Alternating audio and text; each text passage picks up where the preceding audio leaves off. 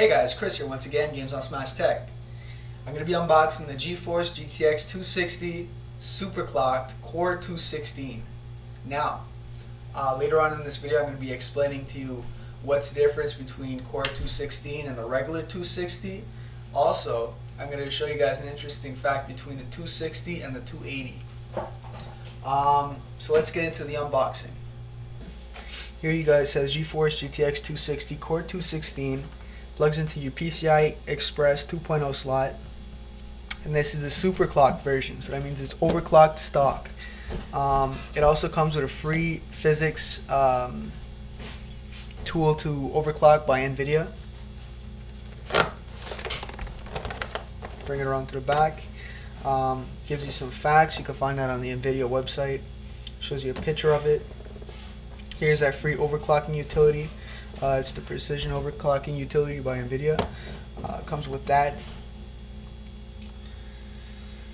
So why you guys want to see the box? Let's see what's inside.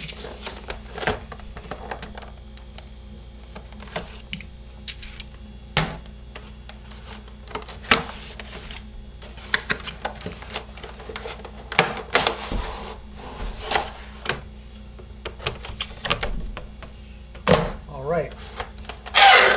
So here you have it. First thing you see here, installation guide.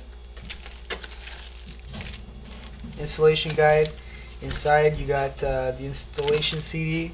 Me personally, I would never use the installation CD. Other people, you know, do what they like, but I personally like going to the NVIDIA website to uh, to get its latest drivers. So you got the CD. Um, here's a case badge an EVGA case badge. Uh, it's kind of rounded, so it's I don't know, it's beveled or feels good. It's bubbly. So the case flag.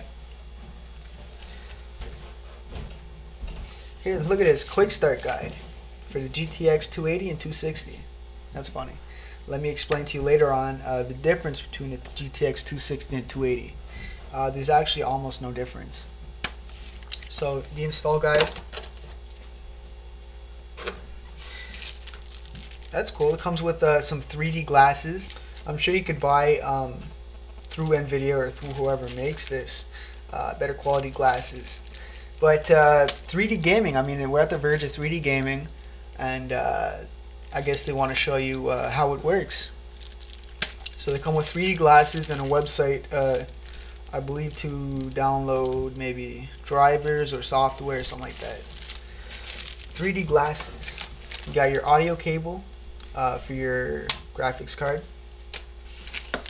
You got your VGA to DVI or DVI to VGA. If you have an older monitor, plug in your VGA right there. Um, I would recommend to move away from VGA. If you're buying a new monitor, try and get something that has DVI. DVI is digital, VGA is analog. Uh, you get a better, crisper resolution with uh,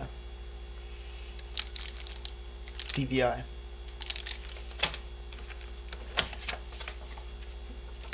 Some advertisement, some 6-pin to Molex. If you have an older power supply, you plug in, uh, you connect those to your Molex on your power supply, and this plugs into your um, graphics card. Funny enough, it comes with two of them uh, because you need two 6-pin connections. So if you have an older power supply that could uh, that could run 32 amps on a 12 volt rail, and it has four free Molex uh, four free Molex pins. Go like that. But if you don't have an older power supply and you already have six pins, and you're able to run 32 uh, 32 amps on a 12 volt rail, you don't need these. Also, it comes with a DVI to HDMI, which is probably what I'm going to be using. Um, DVI to HDMI, pretty straightforward. Let's go on to the card.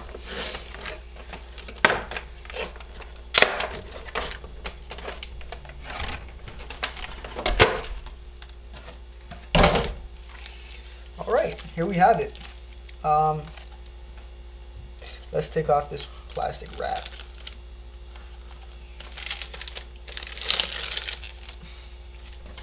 There you have it. EVGA GeForce GTX 260, uh, Core 216, super clocked. it's it's pretty nice. I mean, you guys already know what it already looks like. Here you got your two six pins.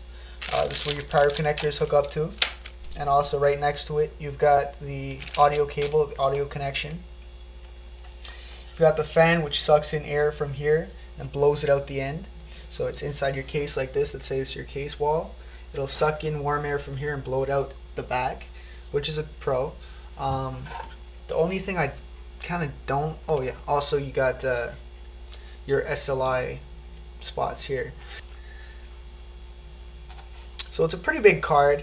The only thing I didn't like, or the only thing I don't get about video cards, is that when you hook it up into your system, let's say this is your motherboard, you put it in like that. Why is the nice looking side on the bottom? You ever you ever wonder? Because you know you got your you look at you're looking at your case from you know top down or however you're looking at it, and you just see this this top board. You see the the board side. You know you see the chips. You don't see the nice looking you know GTX 260. You don't you don't get the finished side. Hey, that's a leave your comments. What do you think about that? Do you know why they've done that? Do you know is there a reason like performance wise or maybe it's because of the heat or you know what do you think? Me, I don't know. I've always wondered. But anyway, it takes up two slots, uh, so make sure you have enough room. And that's it. Alright, now that was the unboxing. You got all the components there. Let me explain to you, or try to explain to you, if I can remember, uh, the difference between the GTX 260 and the GTX 280.